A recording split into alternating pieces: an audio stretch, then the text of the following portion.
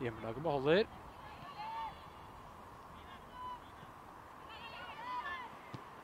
Ja, det er de balltappene der som er eh, farlig grei. Her kan uh, gjestene komme. Sandro Johansen skyter.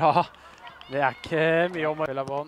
Ja, det innlegget er brukbart. Hvor ender den opp? I boks der, da. Oi, oi, oi, for en eh, enorm redning. Forsøk to. Tupp. Forsøk tre.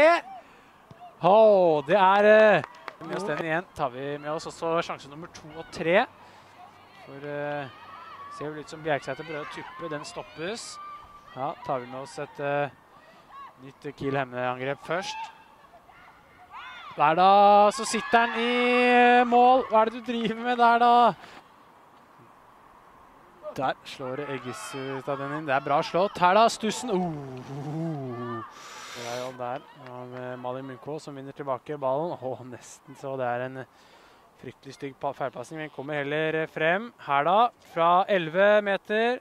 Tuppen. Returen, og der eh, går eh, Kiel Hemme opp i eh, 2-0. Keepers ball.